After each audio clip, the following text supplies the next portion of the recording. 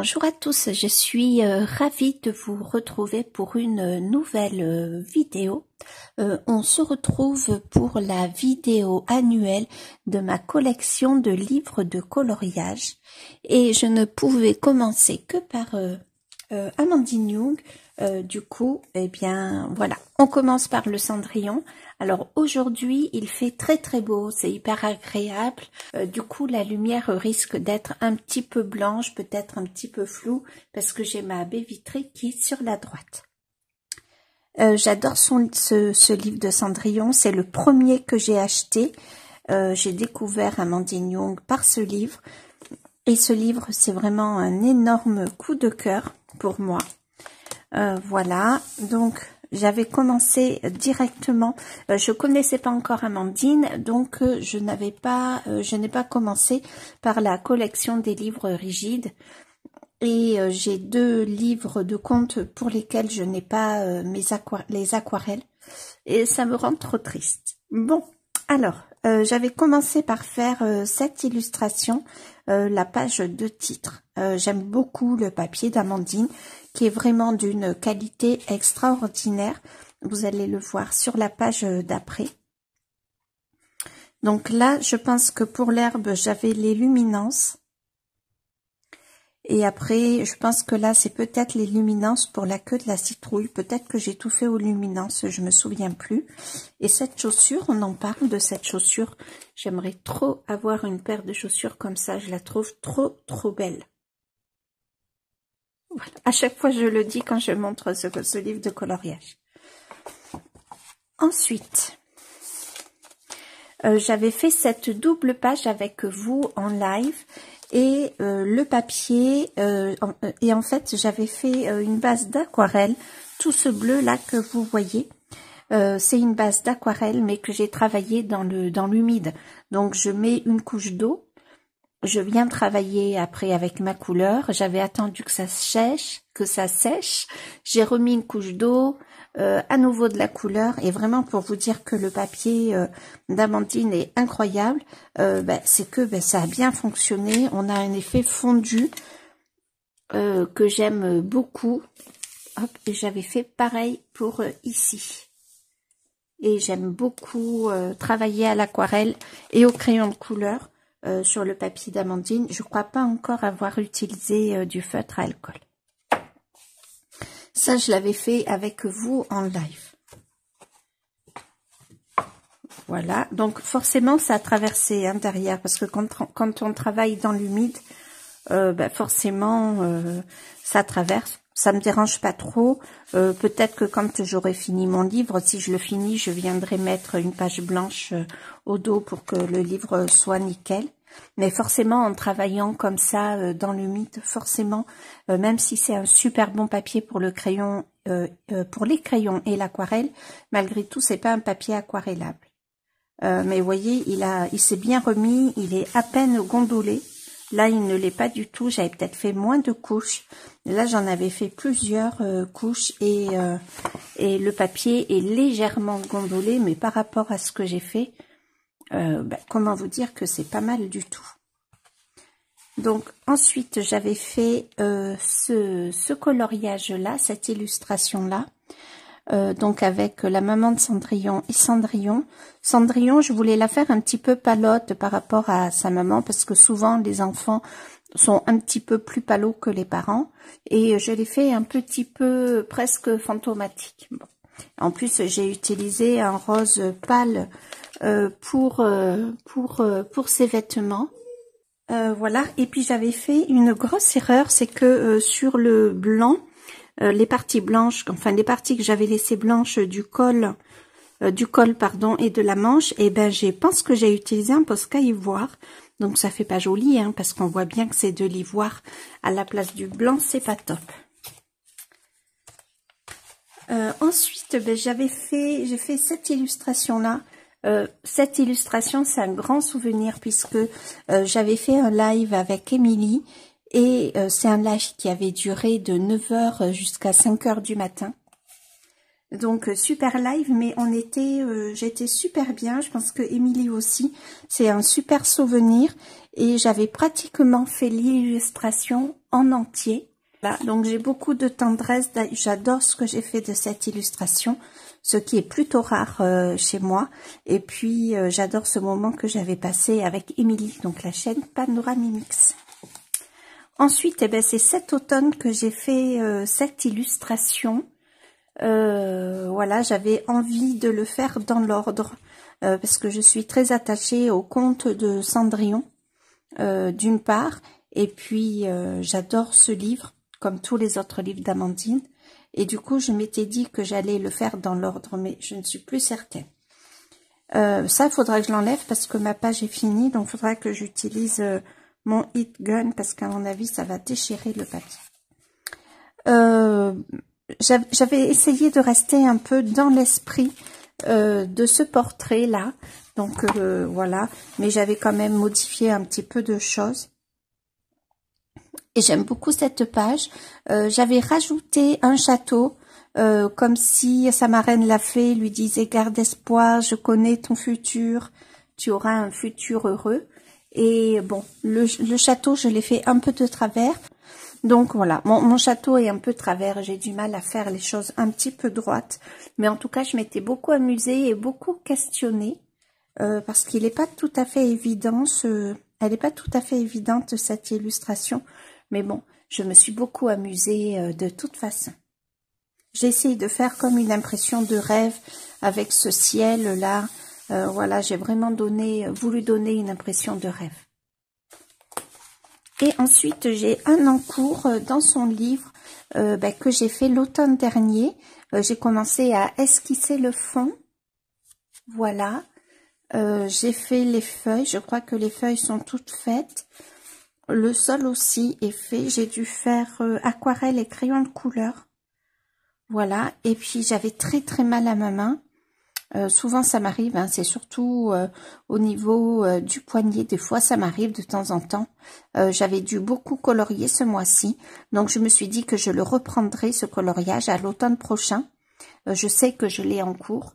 Euh, mais je le reprendrai, je ferai peut-être euh, aux Intense ou alors euh, il me semble qu'on a bien des Intense dans ces tons-là. Et après, je n'ai plus rien fait. Voilà, donc il y a encore du travail. J'adore ce livre, il m'a énormément parlé. Le prince aussi m'a énormément parlé. J'adore ce prince ailé avec la boucle d'oreille, son costume. Il fait très dandy, le prince.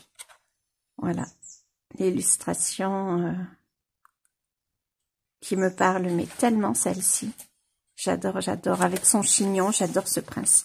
C'est mon prince préféré euh, euh, de, de tous les princes qu'a dessiné Amandine Young. Donc ce livre, c'est sûr, j'ai très envie de le finir, mais j'aime bien le prendre à l'automne. Euh, ensuite, il me semble que j'ai pris euh, le Blanche-Neige. Alors, le Blanche-Neige, euh, je n'ai pas fait beaucoup d'illustrations. Vous voyez, j'ai même pas fait la page de titre.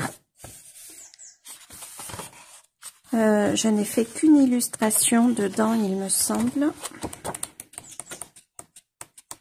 Voilà, c'est celle-ci. que j'aime beaucoup. Euh, j'aimais beaucoup mes framboises, euh, mes framboisiers, oui, que ce soit la framboise ou les feuilles, je trouvais que euh, ça rendait super bien. Et quand j'ai fait mon fond vert, bah, pour le coup, j'ai trouvé qu'il disparaissait un petit peu dans mon fond. Mais en tout cas, j'aime beaucoup. Je crois que je l'avais fait en grande partie avec vous en live. Et la robe m'avait posé beaucoup de soucis. Euh, au début, je l'avais fait jaune et bleu. J'arrivais pas à me représenter la robe et voilà, à me projeter dans les couleurs. Et puis, euh, ben, finalement, je l'ai fait. Je suis repassée sur le bleu, euh, sûrement avec un prisma, et je l'ai fait rouge et jaune. Voilà. Et comme ça, je l'aime bien. Je trouve qu'elle va bien ben, dans dans, dans ma mise en couleur et j'ai fait la pomme empoisonnée, je l'ai fait d'une couleur différente qu'elle ne se mélange pas trop. Donc là, j'ai utilisé ben, presque un bordeaux, un rouge très foncé Et là, un rouge quand même un petit peu plus clair. Je suis pas arrivée à donner le côté euh, euh, très brillant, côté empoisonné et brillant euh, sur cette pomme. Mais bon, j'y arriverai peut-être un jour. En tout cas, je l'aime beaucoup et je suis trop contente de l'avoir fait. et j'adorerais revenir dans ce livre. Il y a plusieurs illustrations que j'adore. Et j'adore la méchante sorcière. J'adore l'allure qu'elle a. Je la trouve trop, trop belle. Enfin, la méchante reine. Je la trouve trop, trop belle. Donc, euh, donc voilà. Oh, qu'est-ce qu'elle est belle, celle-ci. Ah, je pourrais faire celle-ci aussi pour le printemps. Avril. Ah, j'ai commencé à faire une mais je l'ai pas totalement fini. Celle-ci aussi, il y a Audrey Mogg, je crois, qui avait euh, qui a mis en couleur cette page et qui est magnifique. Oups là. Voilà, donc euh, le talent d'Amandine. Ah, celui-là aussi est trop beau. Bon, bon, bon, bon. Euh, je crois que j'essaye de mettre dans l'ordre. Hein. ensuite, je me suis acheté le pin-up de Amandine. J'avais fait avec vous en live cette page aussi. Voilà, je m'étais euh, vraiment régalée. Donc, j'avais fait le personnage au crayon. Mais qu'est-ce qu'on voit comme traces? Il y a des traces sur la peau, c'est incroyable. Alors, je ne sais pas si c'est... Euh, si j'avais laissé la peau comme ça, ça m'étonne quand même. Vous, vous ne le percevez pas. Puis en plus, j'ai la pochette. Euh, je vais peut-être enlever la, pochette quand même. Bon, je sais pas, sinon ça va me prendre un temps fou. J'ai pas mis les pochettes dans tous les livres d'Amandine. Et le fond, j'ai essayé de le faire euh, à l'acrylique. Je voulais donner un côté un peu vaporeux, comme fait euh, Émilie, la chaîne Panoramimix dans le fond, euh, avec son fond de tapote. Voilà, je l'ai fait un petit peu plus foncé que je ne le voudrais, mais j'adore ma pin-up. Et pour le nœud, je pense que vous n'allez pas le voir. Allez, j'enlève la pochette. Euh, pour le nœud, euh, je lui ai donné un côté euh, noir, noir violet et je lui ai fait des petits points parme dedans. Je pense que vous allez voir les petits points, mais pas. Ah, peut-être que là, si là vous voyez un petit peu. Pour le nœud, en tout cas, je me suis mais vraiment, vraiment régalée pour cette mise en couleur. J'y suis pas suffisamment allée dans le pin-up. J'ai encore fait d'autres illustrations. Alors cet hiver, j'ai fait celui-ci, je me suis régalée. Euh, en plus, je l'ai fait avec euh, Déborah et euh, le monde de Déborah. Et, et c'est une personne que j'aime beaucoup et j'adorerais refaire un duo avec elle. Si Déborah, tu passes par là, c'est un petit message. j'adorerais refaire un duo avec toi. On avait passé un super bon moment. Euh, en plus, j'avais pris un peu de temps pour faire cette illustration. Il me semble qu'elle m'avait un peu, un peu euh, attendu. Voilà. Mais euh, je voulais faire une reine des neiges, non, une reine des glaces, un peu glacée. je m'étais inspirée de plusieurs portraits de reine des glaces dans le chez dans Pinterest. Voilà. Et pareil pour la robe, je voulais donner une impression de robe nude un peu pailletée. Alors j'ai plus les images de référence, mais de la robe que j'ai que j'ai euh, sur lesquelles je m'étais inspirée. Mais je me suis régalée. Elle est peut-être un petit peu palote. Euh, j'avais fait une petite rangée de sapin derrière. Là, je suis allée dans des couleurs un peu grisées pour la neige. Euh, je pense que j'ai utilisé mes aquarelles au rodam. Je sais plus quelle aquarelle exactement j'ai utilisé pour le fond. Et ce sont mes premiers euh, tampons, vous savez, que je fais avec les poudres, euh, les poudres à embosser. Bon, celui-ci est pas trop mal. Celui-ci, il est beaucoup moins. Ça fait plutôt tache un peu bizarre. Et là, j'avais voulu donner un effet glaçon pour mon bonhomme de neige. Bon, il est pas très mal, pas trop mal, mais bon, peut faire mieux. Faudrait que j'y revienne plus souvent dans ce livre-là. Et j'ai fait aussi euh, Nefertiti. Enfin, pour moi, c'était Nefertiti. Je suis régalée à la faire. Euh, alors, Ah, c'est bizarre l'effet que ça fait ici. Je sais pas si vous allez voir. Bon, bref. Ok. Euh, alors, elle était très très belle, ma Nefertiti, jusqu'à ce que je fasse le fond, où je trouve qu'elle a été un petit peu moins jolie. Je lui ai fait un maquillage un petit peu diva. Voilà, j'espère que vous arrivez à voir un petit peu.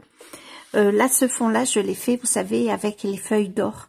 Mais j'ai galéré, euh, je suis pas arrivée à faire quelque chose de très uni. Euh, vu que bon le soleil était une divinité euh, chez les Égyptiens, j'ai vraiment voulu reprendre. Et dans le fond, j'ai fait un fond noir à l'acrylique et euh, j'ai trouvé des hiéroglyphes sur internet et je m'en suis inspirée. Alors j'ai pris les plus simples parce qu'il y a des hiéroglyphes qui sont un petit peu plus compliqués. Euh, j'aurais pu faire des pyramides derrière, j'aurais pu faire euh, voilà euh, un paysage autre, mais bon, il me plaît bien comme ça et je trouve que même si ma Nefertiti faisait un petit peu moins belle quand elle était mise en couleur toute seule sans le fond, je la trouve trop belle et puis j'ai adoré. J'y vais pas très souvent dans ce livre là, celui-là j'aimerais trop le faire. Tiens, j'ai une feuille d'or qui est passée à travers. Euh, et je sais pas si c'est... Ah non, c'est pas le seul.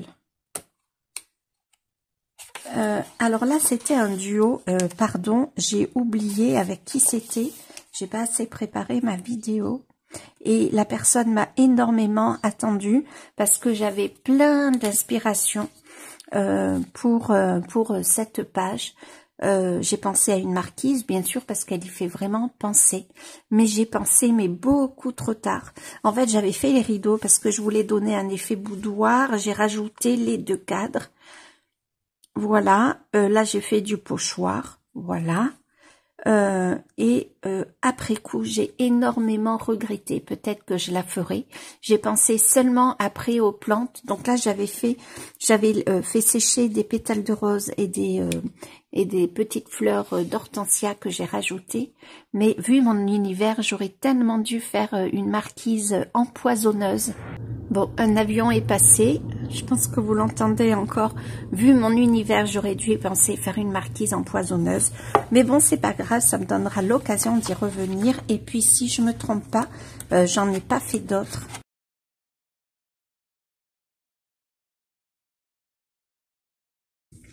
Euh, je vais peut-être remettre de suite les pochettes. Ouais, j'en ai bien trois. Ah oui, donc celle-ci, je ne l'ai pas enlevée. Et j'aimerais trop revenir avec Déborah dans ce livre. faut que je t'en parle, Déborah. Alors, hop. Voilà.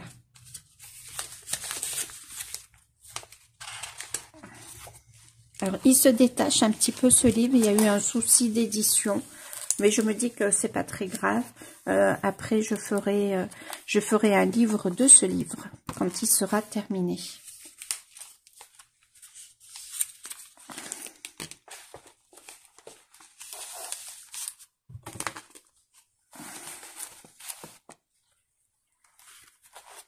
Je dois en avoir un autre. Voilà. Ma marquise, euh, franchement, j'aurais pu la faire autrement.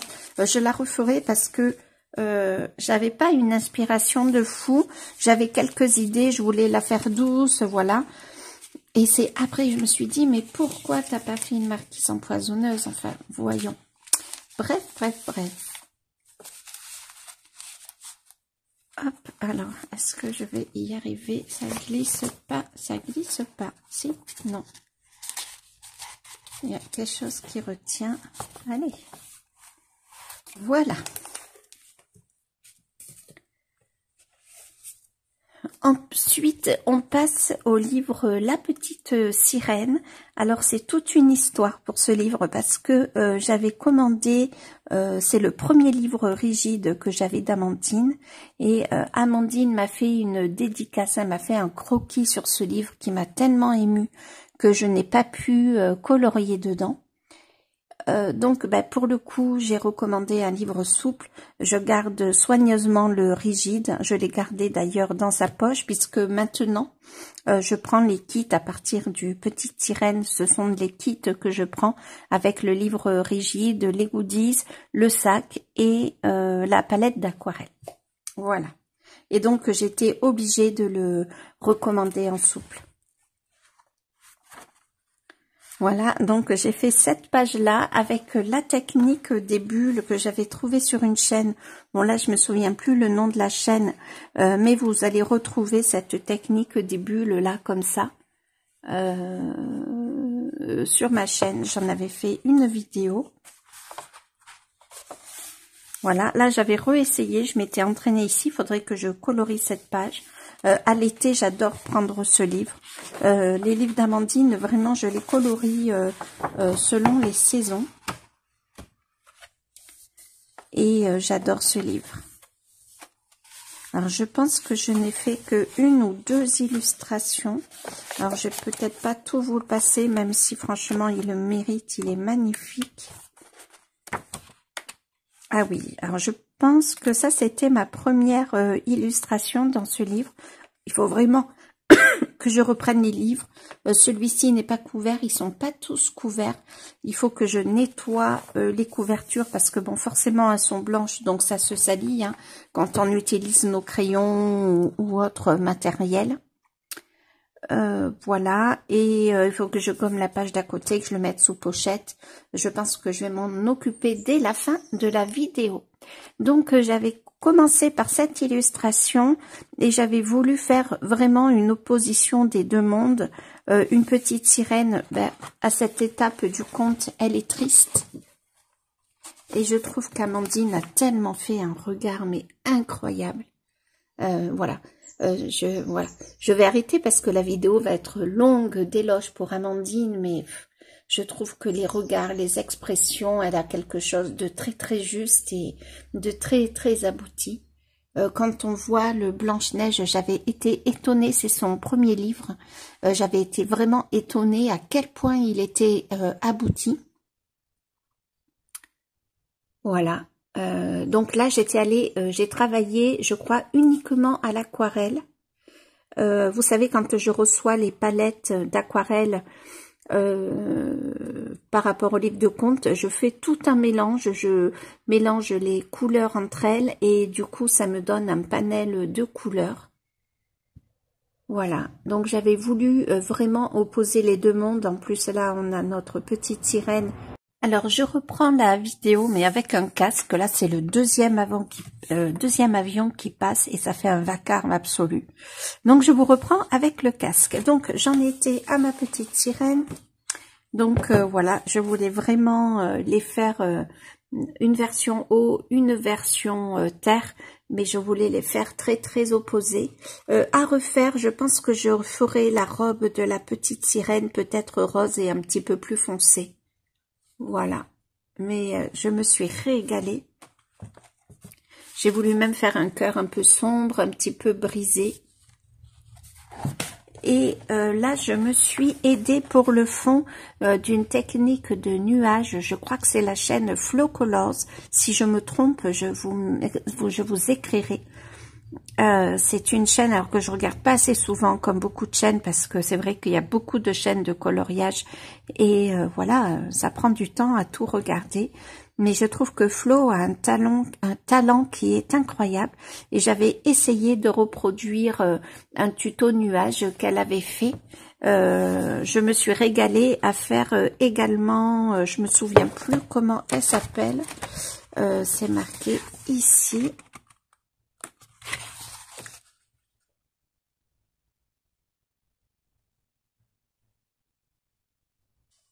Eléa, voilà.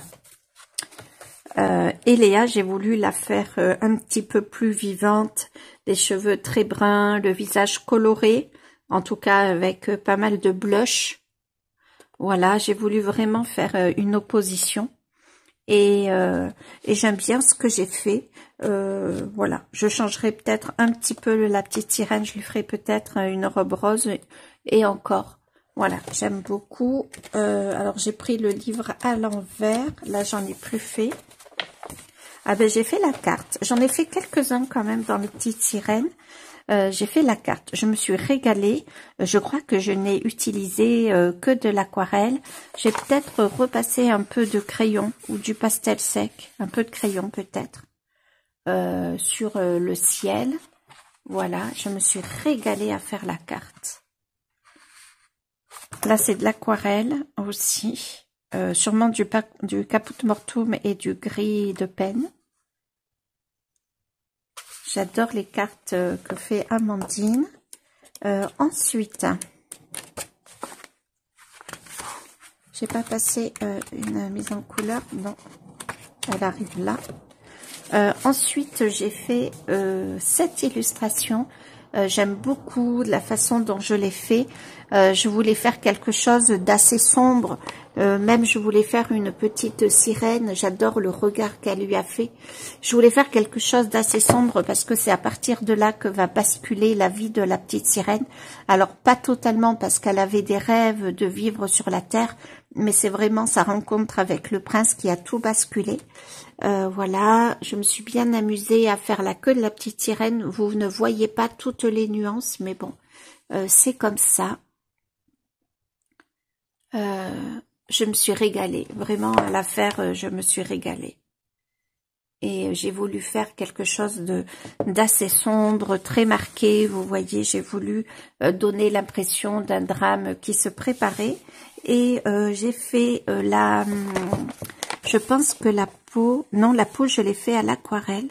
Ouais et euh, j'ai fait un, effet un petit peu délavé avec comme des traces, comme si, ben, vous voyez, ça faisait un effet de vêtements dans l'eau. Voilà. Euh, je me suis beaucoup amusée et j'ai fait euh, ben, cette illustration. Ah, mon toto qui revient. C'est bien, mon bébé. C'est bien, mon bébé. Oui, c'est bien. C'est bien, c'est bien. On ira chercher le bonbon tout à l'heure? Hein? T'as fait une petite promenade? Tu as vu Upi Qu'est-ce que tu regardes? T'as chassé les oiseaux? T'as chassé les oiseaux? Parce que mon beau-père a un nouveau chiot qui s'appelle Ubi et ils s'entendent vraiment comme larron en foire. Qu'est-ce que tu regardes, mon toutou? C'est bien Ouais, c'est bien, mon bébé. je laisse la baie vitrée ouverte. Comme ça, tu vas pouvoir aller te rouler dans l'air. Mon toutou Oh oui. Euh, alors j'avais j'ai fait cette illustration en duo avec Amandine et en live. Euh, qu'est-ce que je me suis amusée à la faire. Alors je me souviens que pour la queue de la petite sirène, j'avais envie qu'elle soit très réussie. Alors vous ne voyez pas toutes les nuances euh, parce que je l'ai fait à l'aquarelle. Et en fait j'ai lâché prise comme un enfant. Je me suis dit j'y vais comme un enfant et je lâche prise. Euh, je me suis euh, régalée. J'adore euh, ce que Amandine avait fait sur les vagues. On avait vraiment l'impression de vagues en mouvance. Donc j'ai fait le ciel pareil à l'aquarelle. je pense que j'ai utilisé du rose opéra, à moins que ce soit un rose de la palette de la petite sirène.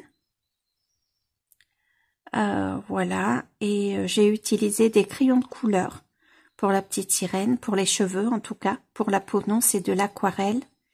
Euh, le contour, euh, je l'ai fait euh, au crayon couleur. Et les perles, je me suis inspirée, je crois que c'était à l'époque de Adeline et ses crayons qui avaient montré ses coloriages terminés et qui nous avait montré comment elle avait fait ses perles. Et je m'en étais inspirée parce que j'avais adoré ce qu'elle avait fait. Euh, voilà, euh, les, coquillages aussi, je me suis régalée avec la palette d'aquarelle de Amandine et tous les mélanges. Enfin voilà, c'est toujours un, euh, un, grand plaisir d'aller dans les livres d'Amandine. Et ça, je vous l'ai déjà montré. je vais peut-être remettre le papier ici. Voilà, comme ça. Euh, le pin-up, je vous l'ai montré. Je vous ai tout montré. Cendrillon. Euh, Blanche-Neige, Cendrillon, ouais. Alors, euh, ensuite, j'ai j'ai acheté le Frix, mais je n'y suis pas du tout allée dedans encore. voilà, pourtant je l'aime beaucoup. J'aime beaucoup l'univers du Frix et je le trouve superbe. Alors, pour ma part, j'aime bien le format A4. Euh, voilà, je trouve euh, très sympa ce format. Mais finalement, ça me va très bien. Et puis, comme ça, on peut vraiment s'amuser à faire plein de détails. Qu'est-ce qu'il est beau, ce clown. Regardez-moi l'expression du regard, quoi. Clown triste, mais ça se voit tellement. Voilà, je suis admirative du, du trait et du talent d'Amandine. J'adore celle-ci. Oh, j'adore, j'adore. Alors j'avais mis cette couleur, euh, cette illustration en couleur. Je l'avais imprimée en A4 et, euh, et voilà, je l'avais mis. J'avais de la chance de mettre l'illustration en couleur en avant-première. Oh, celle-ci est magnifique.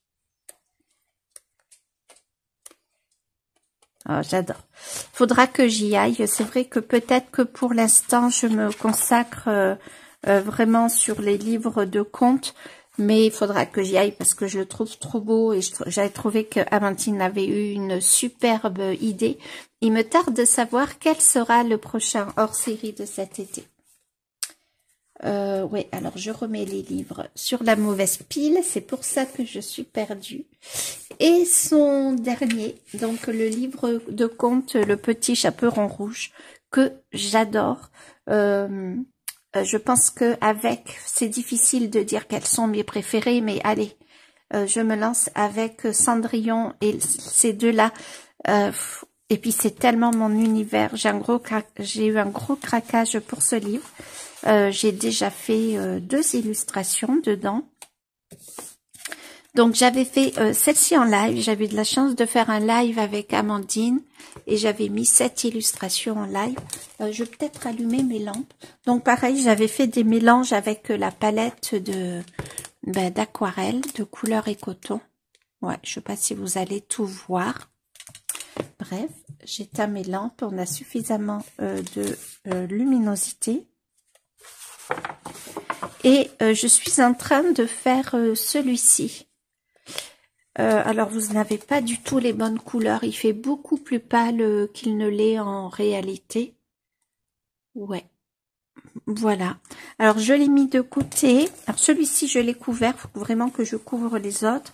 Et là, il va vraiment falloir que je mette une pochette de protection parce que euh, j'ai utilisé du drawing noir pour les deux chauves-souris. Alors, vous ne voyez pas les vraies couleurs. Je pense qu'il va être très difficile à passer à la caméra. Euh, mais il faut que je vienne... Euh, je l'ai mis de côté, il n'est pas fini fini. il manque un petit truc et j'attends. Et ben, du coup, ce, ce sont les seuls que j'ai fait. Voilà, je vais continuer à aller dedans. là, j'ai envie de basculer sur le cendrillon. Mais euh, voilà, mais c'est pas très grave, mais c'est une tuerie. Alors, j'ai pas fait de présentation pour ce livre, j'ai fait à chaque fois une présentation pour les autres livres. Mais je l'ai, je suis allée le chercher euh, pendant que j'ai eu le Covid.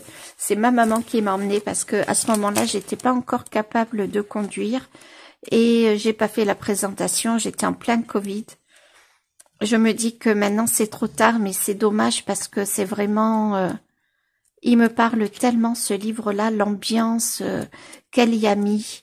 Euh, voilà, c'est c'est un coup de cœur, comme a été aussi le petit sirène. J'adore cette page. Moi qui adore les, les herbiers, puis j'adore Morty, Hurleur, Dracule, j'adore. Euh, ça pourrait être ma prochaine page, mais je l'aime tellement qu'elle m'impressionne.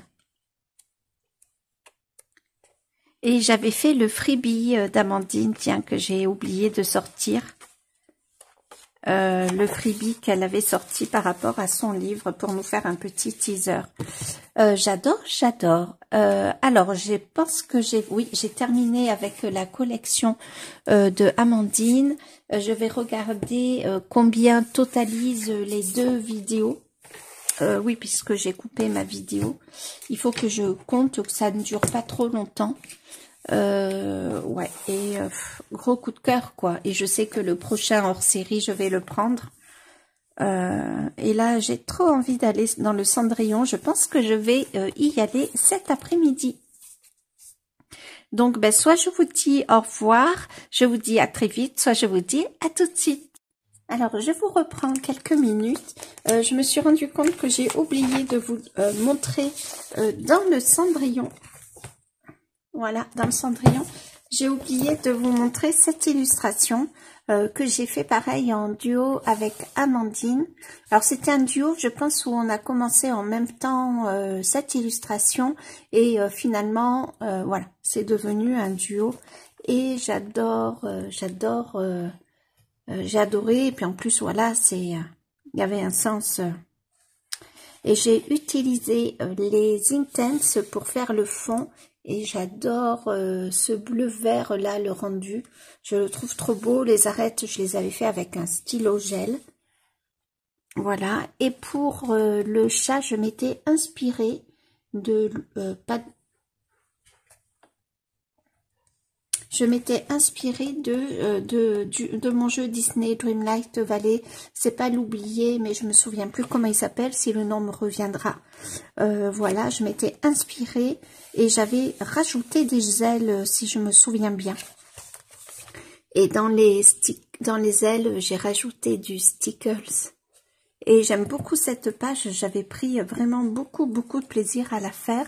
Là, je pense que c'était encore aussi tense, mais j'avais pris une couleur plus foncée euh, pour faire le côté et le bas. Et j'avais fait ma chauve-souris à l'encre. Et euh, j'avais aussi fait, euh, pour le chapeau, j'avais utilisé de l'encre. Et ben, l'arrière est taché en fait. Hein. Voilà, ça se voit bien. Là sur le bas, vous voyez moins, mais voilà, c'est de l'encre qui, a, qui a transpercé. Et je pense que je n'ai oublié aucun autre coloriage. Voilà, juste petite parenthèse.